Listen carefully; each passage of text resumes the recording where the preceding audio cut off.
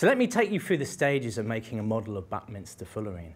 So I've got a beautiful model here, a molecular model of uh, C60. You can see the little black atoms that represent the real atoms in the molecule.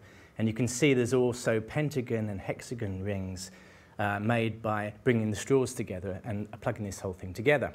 So let me take you through the stages of that. So the C60 molecule, it's got 60 atoms, of course. These are the black atoms. There's 12 pentagons and there's 20 hexagon rings. Now, it's not obvious, but actually if you study this structure, you'll see that there's no atoms, there's no black atoms that aren't in the pentagon. So there's 60 atoms in the whole structure. There's five atoms in each pentagon. So 60 divided by 5 is 12. So there's actually 12 pentagons. So in some ways, the secret to making the model of C60 is actually just to make 12 pentagons, say out of the red straws, and then simply join them up with a different colour, and the ball will form in front of your eyes. So let me go through those steps in the slides behind us. So just to recap, we've got the C60 molecule. It's got 60 atoms, 12 pentagons, 20 hexagons. Don't have to worry about the hexagons at all. Uh, 60 divided by 5 is 12, so there's 12 pentagons in this beautiful structure. So we're going to get a, a pack of bits and pieces, the molecular model to make it up. At the end of this uh, video, you'll see a URL, and you can look up where you can get these things from. Uh, take all the bits together, and the first thing to do is to make 12 pentagons. So we take one of the coloured straws here, say in red, and we join them up. It wants to form a hexagon, so we have to sort of, when we put the fifth atom in, we have to sort of bend the thing round to form a pentagon. And then basically we make a pile of 12 pentagons.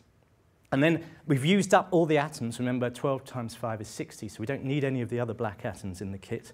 Then we use another colour, and we simply join up the 12 pentagons that we've got. So first of all, we have one in the centre, say, and we put five uh, white straws around it to join up five more pentagons. You can see it's flat at the moment. But as you start uh, joining these up around uh, with the extra straws, you see that it rises up off the floor and starts to curve. So that's half a buckyball. Uh, we make another half, and then we simply join these together with the white straws. And as we zip the whole thing up, you'll see that you form uh, a round, beautiful molecule or molecular model of C60 in front of your eyes. So C60, if you think about it, is just composed of pentagons joined up with white straws. It's not true for the different other size uh, cages like C70 and C82 and all that sort of thing, but for C60 it's got this beautiful symmetry about it. So um, if we go back to the model, a, a two centimetre straw will sort of create a buckyball of about 20 centimetres in diameter. So what will happen if I make the straws now about a foot, about 30 centimetres? And obviously the whole thing's going to be much bigger. And it's quite fun to make one of these. I've got here this one I made in the garden earlier, and I'm in the middle of this beautiful buckyball. This is with foot-long um, edges, and you can see they're quite fun to make these giant structures based on the same principle. For any more information, please see my website.